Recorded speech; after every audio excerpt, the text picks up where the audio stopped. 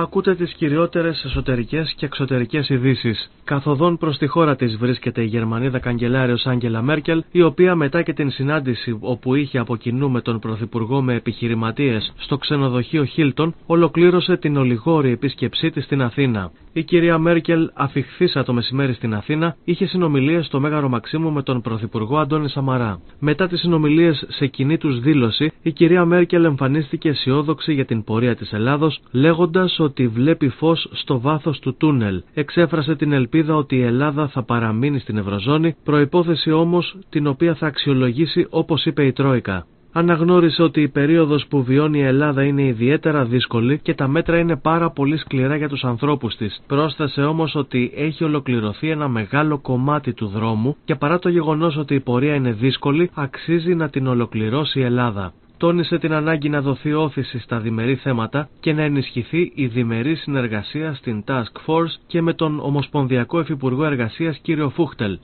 Η Γερμανίδα Καγκελάριο έδωσε έμφαση στην ανάπτυξη, λέγοντας ότι η Γερμανία θα στηρίξει ό,τι είναι αναγκαίο για να πάρει η Ελλάδα χρήματα από την Ευρωπαϊκή Τράπεζα Επενδύσεων. Ανέφερε μάλιστα ότι το έλλειμμα του 2009 ήταν στο 10% και τώρα έχει μειωθεί στο 2%. Ο Πρωθυπουργός Αντώνης Σαμαράς από την πλευρά του δήλωσε ότι η Ελλάδα θα τηρήσει τις υποχρεώσεις της και θα ξεπεράσει την κρίση. Προπόθεση είναι να βγούμε από την ύφεση και την ανεργία. Αυτό προϋποθέτει ότι η Ελλάδα θα παραμείνει στο ευρώ και θα εφαρμόσει τις διαρθρωτικές αλλαγές. Ο ελληνικός λαός ματώνει αλλά έχει αποφασίσει να παραμείνει στο ευρώ και να κερδίσει το στίχημα. Δεν ζητάμε χρήματα ή χάρη αλλά την ευκαιρία να σταθούμε στα πόδια μας είπε χαρακτηριστικά. Πρόσθεσε ότι η κυρία Μέρκελ έδειξε απόλυτη κατανόηση και σεβασμό και τόνισε ότι οι θυσίες δεν θα πάνε χαμένες. Η αξιοπιστία μας έχει αυξηθεί και η επίσκεψη της κυρίας Μέρκελ στην Αθήνα το αποδεικνύει. Στη συνάντηση εξετάστηκαν πρακτικοί τρόποι συνεργασίας, ιδιαίτερα σε τομείς όπως η υγεία και η τοπική αυτοδιοίκηση. Όσοι πόνταραν ότι η Ελλάδα δεν θα τα καταφέρει και η Ευρωπαϊκή Ένωση θα πληγεί, θα χάσουν το στίχημα. Οι Έλληνες έχουν περηφάνεια, φιλότιμο, υποδεχθήκαμε μία φίλη και ανοίγουμε μία νέα σελίδα στις σχέσεις των δύο χωρών, κατέληξε ο Πρωθυπουργός. Κλείνοντας, είπε ότι με την επίσκεψη Μέρκελ σπάμε τη διεθνή απομόνωση που υπήρχε λόγω των δικών μας λαθών, ενώ η προσπάθεια είναι συνεχής, πέρα και πάνω από τα χρονοδιαγράμματα. Η Ελλάδα θα τα καταφέρει.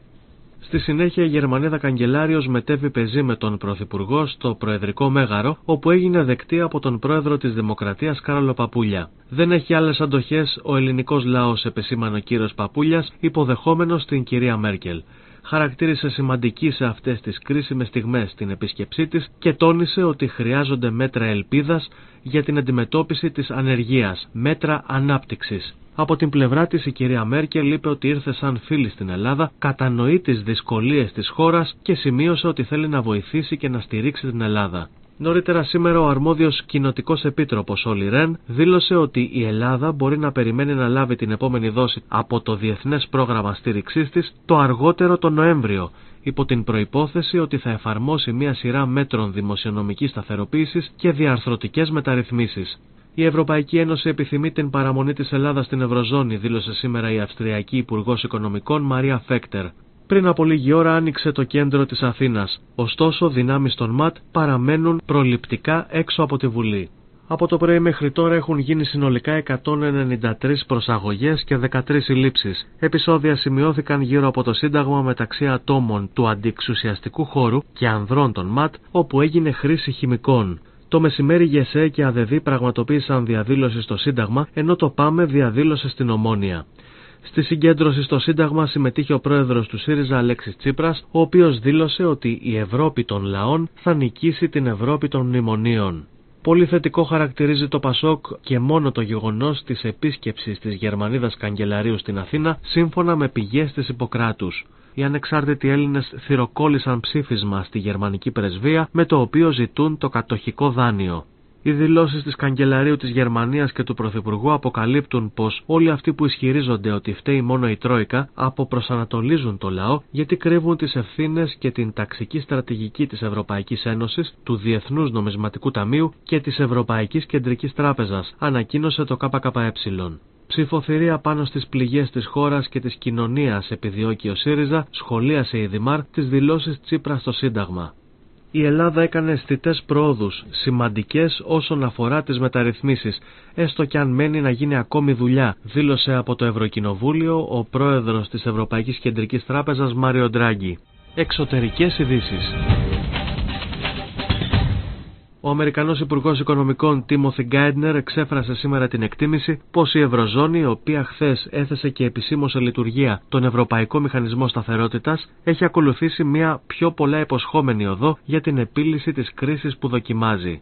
Η Γαλλική Εθνοσυνέλευση ψήφισε σήμερα υπέρ της επικύρωσης του Ευρωπαϊκού Δημοσιονομικού Συμφώνου, το οποίο εγκαθιδρεί έναν χρυσό κανόνα δημοσιονομικής ισορροπίας με 477 ψήφους υπέρ, 70 κατά και 21 αποχές, ενώ 9 βουλευτές απήχαν από την ψηφοφορία. Ήταν οι ειδήσεις από το Αθηναϊκό και Μακεδονικό Πρακτορείο Ειδήσεων.